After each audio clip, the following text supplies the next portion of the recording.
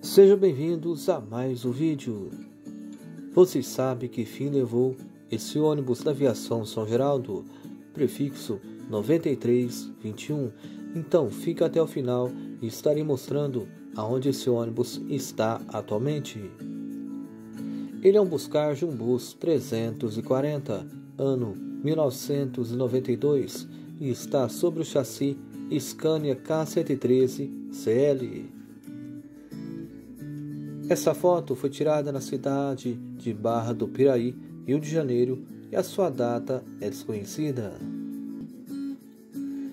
Depois de muitos anos na aviação São Geraldo, ele foi para a empresa Novo Elo Fretado. Nessa empresa, ele mudou seu prefixo para o 4060 e também mudou sua cor para o amarelo, cinza e azul escuro, com escritas em vermelho.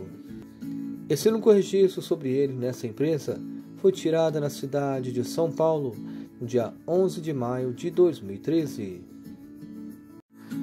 Depois de alguns anos nessa empresa, ele foi doado para a Prefeitura de Trombas, Goiás, é o que diz aqui embaixo pelo autor dessas fotos. E atualmente ele faz o transporte de universitários. Essas fotos foram tiradas na cidade de Porangatu, Goiás, no dia 9 de março de 2023. Repare que esse ônibus está com as cores da empresa anterior e ele está todo original e muito bem conservado. E aí, gostaram do vídeo? Então já deixe seu joinha, compartilhe esse vídeo deixe aqui embaixo o seu comentário. Não se esqueçam de seguir a página no Facebook e se inscrever no canal do YouTube e ative as notificações para estar sempre recebendo novos vídeos como esse do quadro Que Fim Levou. Muito obrigado a todos vocês, fique com Deus e até o próximo vídeo.